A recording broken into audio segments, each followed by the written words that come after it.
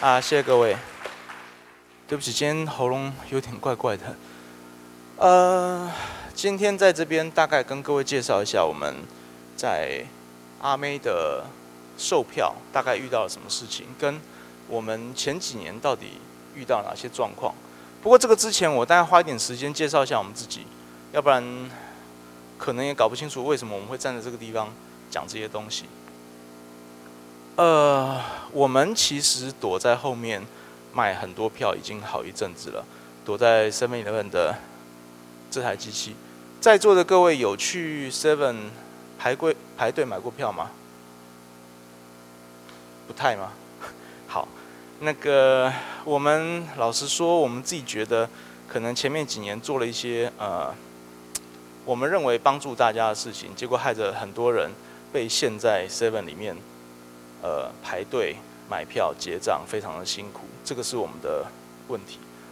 那当然，在各个领域，包括运动、包括演唱会、包括影展等等的部分，大概算是我们的专场啦。如果有在 Seven 里面按得到，然后你可能看到小绿人在跑，呃，是话位的票，然后卖的比较快的，几乎都是我们在后面把这个事情给做完。呃，一年大概就是两百万张票上下这个数字在那边跑。呃，这个是另外一个故事，反正这个看一眼就好，跳过去。基本上就是这个公司怎么样成立的，然后后面有一些怎么去募资干嘛的故事，那就是别的事情。然后在这边大概跟各位简单的介绍一下台湾的售票。对不起啊，今天题目的关系，我会花比较多的时间都在讲售票这件事情，因为它在台湾是一个非常。窄的题目做的人也不多，领域也很单纯，所以我会比较 focus 在这一块。嗯，最早在九六年的前后，年代售票跳出来，那时候邱富生邱董跟我没有任何的关系。呃，做了一个为了服务译文的团队们做了一个年代的售票系统。那这个售票系统基本上它一开始就跟呃金石堂啊、成品啊等等的端点做了很多的。连接，所以他当时应该有慢慢的发展到后来有大概三百个端点是属于他们自己的。他终于开始了整个网络跟端点售票的形态，在九六年的时候，其实还算蛮走的啦。他销售的速度大概是一万张，可能要花四到六个小时。那如果各位有买，我也不知道谁的票，谁金马，金马后来是我们卖。那如果有那时候有买，或者是现在年代有在卖一些秒杀的票的时候，你就会晓得大概一个小巨蛋可能要从十二点卖到四点或五点，不一定看状况。那从年代售票起来了之后，一直到两千零几年的时候，宽宏跟年代分开来，宽宏把年代售票那一套系统也买了一套起来做自己的东西，就是在二姐今年初嘛。卖票的时候，将会的票被打得很惨的那一次，大概就是同样的系统。一直到一一年的时候，包括超商，包括安源，安安源就是 iPhone 背后的公司，包括我们，我们终于做到大概是这种十万张在一个小时左右贩售完毕的状态。那十万张这个数字是五月天，应该是一二或一三年五月天在高雄跨年的这个状况。那基本上只有他们才有这么大的量能够跑得这么快，这个速度也不算非常快，但是在当时我们认为可以接受了。原因是这些人终于不需要排在排什么，连着三天搭着帐篷排在某一个没有灯光、没有冷气、没有遮遮风避雨的地方，所以这个部分大概是当时的状况。现在比这个慢哦，呃，原因就不太想讲了，基本上就是现在大概做不到这个数字。呃，到了一四年之后，我们希望售票系统往下走，至少是十万张十分钟左右的这个时间啦。那为什么是十分钟，不是一分钟？其实等一下后面大家会做一些解释。然后接下来是我们的失败的历史。我们能够讲的东西不多，理论性的东西不多，但是我们怎么样跌跌撞撞走过来，大概可以分享给各位，跟我们怎么样做到我们现在做的事情。当然，在零三年的时候，我们就开始卖票。然后那个时候，其实这两段不一定是怎么回事啦。嗯，在当时实体的 Web 加的多了，你的 database 可能就被打挂；啊，实体的机器加的少了，那有可能因为城市的逻辑写的不好，资料库的 SQL 写的不够好，造成资料库的呃 overload，这个是非常在当时我们来说是很容易发生的事情。零三年了，后来当然就慢慢的希望避免掉这样的事情。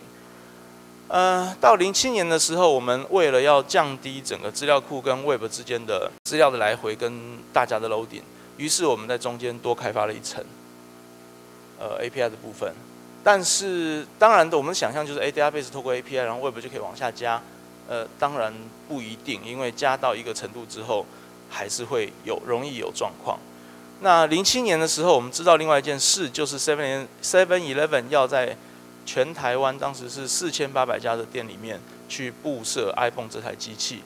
那我们那时候，老实讲，零七年的时候，我们想的很简单，如果这边的架构做得够好，其实是可以避免到宕机的。但是售票卖票是一个。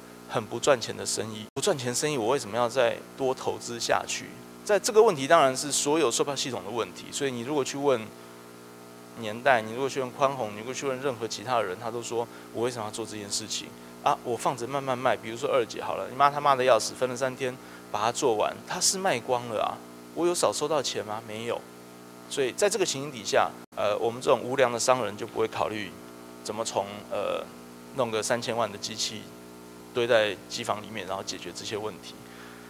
但是我们投机取巧了，因为 iPhone 我们知道它就是四千八百个点，那四千八百个点都透过呃 ADSL 去进到一个 LAN 的环境里面去操作，所以我只要躲在那个 LAN 的环境里面，我要面对的就不是什么十万二十万的机器，而是四千八百台。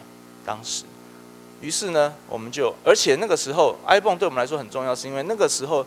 它是国内数量最大的标准化末端设备，意思是我会控制你怎么去做，所以我们就躲到里面去了。结果发生了一些事情，啊，这一段当然还是一样，原本的架构加上一些呃优化的调整，我们可以应付这四五千台的机器在做一些事情，呃，所以我们就从 Internet 躲开来了，躲到这个 Internet 里面去，我们躲到了五千加 Seven 的 iPhone 后面。其实全家的 Family Ticket 也是我们 support 的，好不管。那所以在 Intra 那里面，我们认为应该不会有问题了啊，我们就好好的把这个五千台机器伺候好，然后就没事了。因为 Seven 不可能变成一万家嘛，我怕什么？所以中间出现两件事情，第一件事情我们不晓得的，那后来又持续的一直的不断的发生，就是它的 POS。我如果卖太快，同时结账可能会有一些问题，可能有些状况出现，可能是一三年的五月天吧。那个时候就曾经把曾经出了一些问题，然后让我们不晓得已经缴钱或没有缴钱的消费者到底是缴了钱没有。那中间出了一些状况，所以我们呃当时有去高雄做了一些补救。这个是蛮严重的问题，就是当你不知道你的消费者付钱了没有的时候，我如果保守的处理，就是我假设你都没有付钱，但是万一他付了钱，就完蛋了。那如果我假设你全部都付了钱，那如果他没有付钱，我要吃下来吗？一张票很贵啊。另外一件事情发生了，当我们在 iPhone 的票越卖越多、越卖越多的时候，所有人都知道啊，我要去找一家前面没有人排队的超商，我要进去排队。然后那个排队的时间也许只有，比如说我十一点卖或一点卖，我们不十二点卖票。通常我们不十二点卖票，是因为十二点要热便当。如果很多人在热便当，他拿去结账结不了，然后过了十分钟会有很多客数，所以就出现一个问题：我要买五月天，然后很多人在凌晨五六点就爬起来，骑着摩托车到乡间的小道去看看路边的 seven 里面有没有人。如果没有人，很好，我进去。进去之后发现有个人趴在旁边睡觉。对不起，先生，你是排队的吗？对，我是排队的。然后发现那是第几个？那有些店里面会说：好，我发号码牌。但是在 Seven 的总公司里面是它的规则是我不发号码牌，原因是发了之后你怎么发发给谁，怎么去维持秩序，那责任太大了，所以他不发号码牌。有些店会自己觉得啊，我能够 handle 这些事情，就把号码牌发一发。也有一些事情是，哎，号码牌发了之后，一号是谁都没有看到啊，一号我 就把那个背心脱掉，我是一号，我下班了，我来买票。有很多奇怪的事情发生啊，你可以理解，当这个票很夯的时候，这些事情都会发生，因为。店员也是人，他也需要上下班，他也有排班的时间，他也想要买票嘛。你不能说你当了店员你不能买票，可是这种观感就很奇怪，嘛，就是 怪怪的。好，所以他发生这两件事情之后，我们在 intranet 里面其实也有一些问题。在这个当下，我们觉得，至少是我自己觉得，有两件事情在当时发生了，慢慢的发生。第一件事情，这都是网络上拿来的图哈。第一件事情是 AWS 的使用率越来越高，云端被讲的越来越好。那事实上也是他们开发的各种的产品越来越丰富，功能越来越强，他们就在外面可以去找他们聊一下。呃，我们觉得我们原本要花什么三千万弄一个 server farm 之类的东西，我们不需要做到这件事了。我们可能有机会做到一个很大的架构，但是我们负担得起的。那第二件事情是，原本说为什么要跟 iPod 合作？因为它是当时数量最多的标准化末端设备。现在不是了，现在是各位手上的手机。啊，当然这个时候 desktop 还在往上跑，然后手机也还没有超过 desktop，现在已经不太一样了。呃，我们在思考的就是，那 iPhone 迟早，对不起，我们讲 Kiosk 了，因为包括 iPhone，包括 Family，包括 Live ET。他们有一天都有可能被手机给取代掉，那我们的角色怎么办？我很担心呐！你要绑跟我绑在一起，那如果你被干掉，我怎么办？我会怕。不过因为有一些嗯观念的冲突，比如说我就是希望人进到店里面，我就希望人去戳那个东西，我就是希望他看到小绿人在走路。如果有人买过那个票的话，应该知道那个小绿人非常令人不爽。你一直在那边慢慢走，那。三十秒一次，所以我们就改到这个云端的平台上面了。那今天之所以，老实说，我们通常都习惯好好的在家里把事情做好就算了。那今天之所以希望过来分享，是因为我们觉得我啦，我啦，我自己觉得，云端不应该只是那个你嘴巴上面说你放在云端，其实你放在一个呃。虚拟的机器上面，然后你的架构还是跟原来的一样。然后当出现大量的时候，你可能还是不一定能够解决。那它是云端吗？在我们来讲，它有很多可以做到的事情，但是你未必做得到。不太能够指名道姓讲，但是有些事情就让我们觉得，与其这样子，我宁愿出来分享一下我们之前怎么失败的，我们后来怎么做的，然后希望大家能够省一点路这样子。呃，先讲一下，虽然它对我来说，它不是一个我自己打会打什么六十五分这种大学生及格，然后研究生不及格这种分数了。阿妹这次售票，至少前面拉单的部分，应该除了除非你网络有问题，要不然的话，应该都会看到页面，都有机会选位置，都有机会选区域，都有机会去拉到这张票。那它的确在黄牛的防治上也相当有帮助，因为黄牛几乎是抢不到票。当你跟什么二十万的网军对打，就是有点恐怖了。我后来听说，有一个团体，有一个团队的手上有大概抢到两百张票左右。我说怎么可能？没有五百个人不可能。他们有六百个人，就所以跟我们的估计差不多。那基本上抢票就是一个，对我来说啦，如果有人，我们后来也发现到，有些人会在一个封闭的区域，比如说离岛。那一边去玩耍，一边把离岛所有的 iPhone 都站起来，然后就把票拼命的买起来。因为为什么会发现？是因为我们发现，在同一个离岛里面有不少张，我们都知道哪一张票出来，从哪里出来的。呃，不少张票都是很前面的摇滚区的序号，加上是不同的人在不同的店，但是在同样的地方贩售，同样的账号下贩售，那表示他们是一个平台。我们观察了一阵子，发现有这个问题在。意思是你只要站住那台机器，你就比人家有很高的、更高的机会去按到那张票。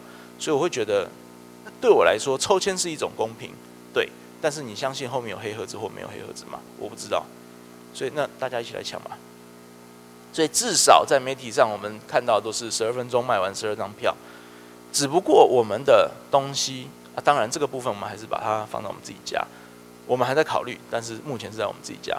这些东西全部都堆上去了，这里有个乘以一万，不是开玩笑的。我们本来的目标是乘以一万，我们怎么样在这上面做到这件事情？第一件事就是我们跌跌撞撞了一阵子，发现你知道，我们公司已经十五年了，我们是非常旧的，本来是非常旧的思维在思考这件事情，但是在你要把这整套东西放到这个上面去的时候，有很多东西是完全不一样的事，所以必须要以。cloud 角度去思考你的系统怎么去重整，而不是站在我的系统去想我怎么样搬上去。那你就搬上去了，你虚拟机器放一放，你就搬上去了，有用吗？不一定有用。我们有几个主要的目标是先定好的。呃，第一个目标是售票，当然越快越好，但是我希望还是要保留消费者选择的可能性。什么意思呢？一样讲啊，每十场，每一场一万一千到一万两千张票。我如果卖的要最快的方式，就是你告诉我你要几张票，我给你，我从最贵的给你，或我从最便宜的给你。啊，你不要选，什么都不要选，天也不要选，区域也不要选，座位也不要选。那样大概一分钟左右是可以跑完嘛？可是就会有很多人 argue，我礼拜六怎么我有事啊？你给我这一天怎么样？有问题啊？或者是说我就不要买这么贵的，我要买那么便宜的？消费者是很麻烦的。对不起，在座各位可能都是消费者，可是真的很麻烦，我们必须要小心。所以我保留了选择权利。所以每一场大概五十个区域有十场，你必须在五百个区域里面选择你要哪一天的哪一个区域几张票。这件事情就会让流程整个的拖慢，但是没关系，每个人都可以选，所以大家都知道这是公平的。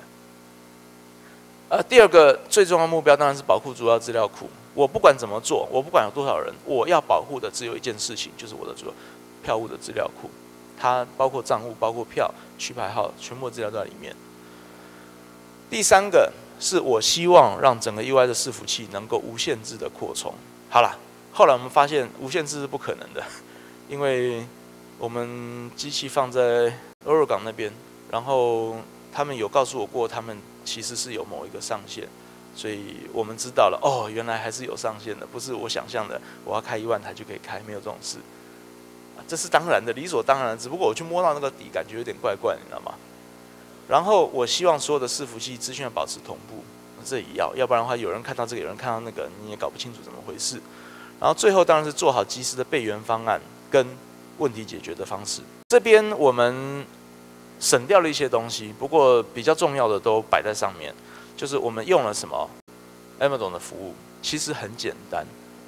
我们的目标是这边 UI 对外界的 UI 啊，当然消费者在这里啊，他进来之后透过呃绕五三，然后到 EOB，然后就连到我们的 EC Two 去，然后这 EC Two 呢，它就 Auto Scaling，然后老实说了，没有 Auto Scaling 这回事，卖票只有从平常的几千到一万人，到突然就啪二十万人之类的，没有慢慢上去这回事，慢慢开来不及，所以一定是 从前面开始开，能开多大开多大。后来这边加后面一共开了一千三百台左右，呃，居然就顶过去了，OK 了，还没有达到它的极限。呃，但是有一个很大的问题是，原本我们其实在这一段，我们把比如说 user 登录的 session 啊，有的没有的，通丢到资料库里面去。原本这一段我们用的是 RDS，呃，MySQL。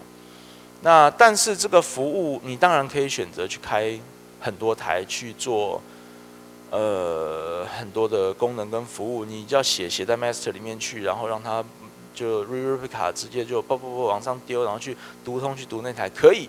可是那个架构超级贵的，你们可以算一下那个钱，超贵的。然后。用这些资料库，它毕竟还是虚拟机器，它的 throughput 我不是很确定它的尖峰是到哪里去，跟我是不是能够不打爆它，这我都不敢保证。但是他们有一个能够保证的东西哦，DynamoDB。呃，DynamoDB 理论上它的 throughput 是没有被限制的。我听到之后真的是哇，太棒了，没有限制是不是？好，那。我们就看我们要开多少，我不知道，可是开了也很贵。Anyway，后面会列一些我们后面的数字。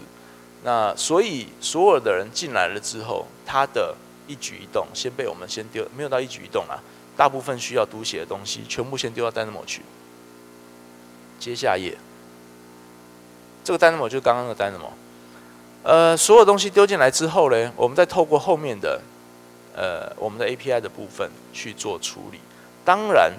这个部分没办法用几台机器就搞定这件事情，而是，呃，它当然也没办法做 auto scaling，然后及及时的达到你的目的，所以我必须要估一个，呃，比例跟数字，就是在开卖的时候，比如说阿米开卖的时候，大约有多少人上来，它 throughput 开到多高，所以我的 UI 大概是多少，等等等等的。我们省了一件事情，EC Two 的部分其实可以扩充的机会蛮高的，我不需要再去慢慢的 tune，哎，这一台机器，这台虚拟机器，我大概呃服务的时候八百个人上线，一千个人上线，调到一千五，不用，我就是开什么五百台开到八百台，开到一千台这样子，就跟他拼了，呃，感觉还蛮好的，就是我不要先不要花时间去 tune 那些东西，我就花钱解决，呃，长辈说过，能够花钱的事情就不是大事情，所以还不错。那当然，在透过了这个一堆的 API 之后，我们还是得透过一个 EoB 去拉到我们自己的目前自己负责运算的地方去，然后丢到资料库。那我相信所有的服务架构都未必是一致的，但是在我们来说，这样子的票的架构已经足够解决。约略是十到二十万人上线的这种规模，就同时上线，同时读资料库，你知道那个东西压力真的很大。你已售完了，已经售完了，结果你不让你让人家继续点进去，他只是吃你的效能啊。如果，总之，而且划位的票有一个很麻烦的事情，就是每一个人都对到一个位置，那不像卖商品，商品我们也卖过，然后后来卖票是因为票没有库存，然后时间到期就自动销毁，超爽的。也没什么物流的问题，后来有了阿妹的票是卡片，所以有物流问题。那这个部分，总之我们就靠着这样子的，我我也只能这样子告诉你们，大概是这个样子。原因是你们大概很难再写一套售票系统，跟很难用这样子的架构来做什么样的事情。不过我会真的蛮强力的推荐，我不知道这边有没有打字的人，就是他的单 o DB，如果你有很大量的需求的话，考虑一下，还蛮微的。啊，然后这个是我自己感觉啦，秒杀其实是我们系统的责任。那歌迷不应该浪费在排队，因为排队的时间真的花很久，卖一场票大概至少要社会成本可能要多个五百万到一千万之类的。如果你用最低薪资去算的话，多少人在排队，排了多久等等的。呃，我们的任务其实有几个，就是第一个，它的人流是爆炸性的。后面有张图可以看一下。那原则上就是。呃，所有的人都在开卖前呢，可能十分钟左右才会涌进来，这个还蛮吓人的，因为你不知道到底多少人会来，所以你必须要先开好了等着，我等你打，就这样子。那第二个是选区选位的及时性，目前我们还有一些状况，不不是说状况啦，目前我们还有一些没有做好的地方，就是它也许会有三十秒到六十秒，最多三十到六十秒不能够完全及时的东西，不完全同步的东西，那未来会用其他服务去改善。那第三个是我们永远心头的痛，又回到这个事情了。金流，线上刷卡顶不顶得住啊？那备案是什么？呃，大概看一下，我们做，我们为了卖阿妹的票，其实都一样啊。我们一定要做一些压力测试。我们压力测试有一些条件，目前的条件是，我至少要开，至少要开五万个同时的要求为单位。五万个同时，concurrent 的要求其实说多不多，说少不少。可是每一个都要读资料库，其实还蛮累的。那五万个不是因为我们预设五万个会来，是啊，我有一个基数了。如果是五万，我可能开多少台是顶得过去的。那来二十万，我可能乘以四，大概就搞定了。等等等等，所以它只是一个压力测试的单位。那模拟的方式当然就是我要开很多很多的机器，然后送出很多要求。但是 AWS 先天有一些，也就是你还没有跟他们。做一些申请，那个申请还有很多很好的理由。如果没有去做这件事情的话，其实它本来会有一些限制。后来我们呃多做了两件事情，就是第一个把 EC2 的 instance 的数字预设是二十还是一百还是多少忘了。我们曾经拉过几次二十，OK 谢谢。我们申请到一万去，去确保我们能够有足够的机器去打足够的机器。有点蠢，不过那时候只能这样子做。那第二件事情是我们把 DynamoDB 的输谱拉到二十万，写二十万读二十万，当天差点吃满，把我们吓死。其实差差不多吃满了啦，蛮厉害的，就就就感觉不错。那呃，其实光看这一点就晓得每秒二十万的进跟出这件事情，你用 RDS 能不能做到？啊，做到的效果是什么？那如果不是二十万，是四十万怎么办？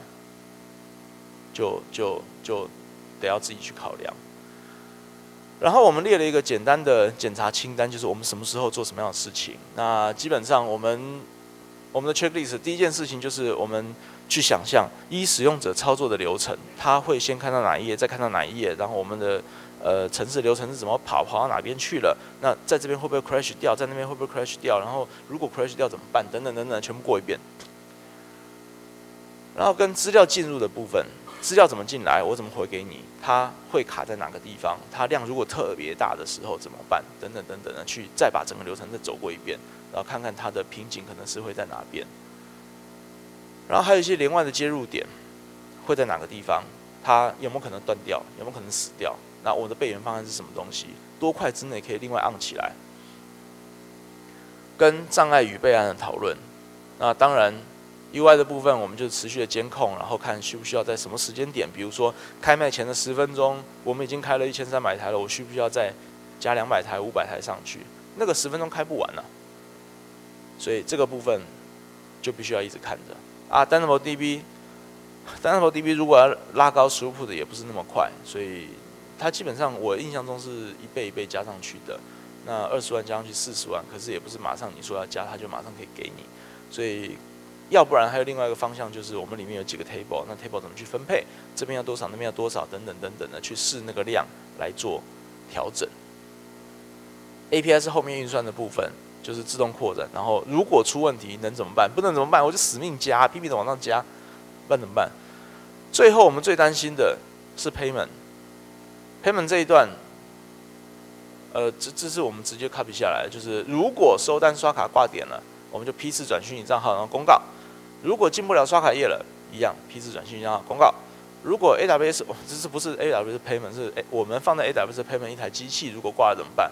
我们赶快替换机器，那个机器其实永远都安在那个地方，我们就 switch 一下，大概几秒钟应该可以好，然后再加上人工对账的方式把它做完。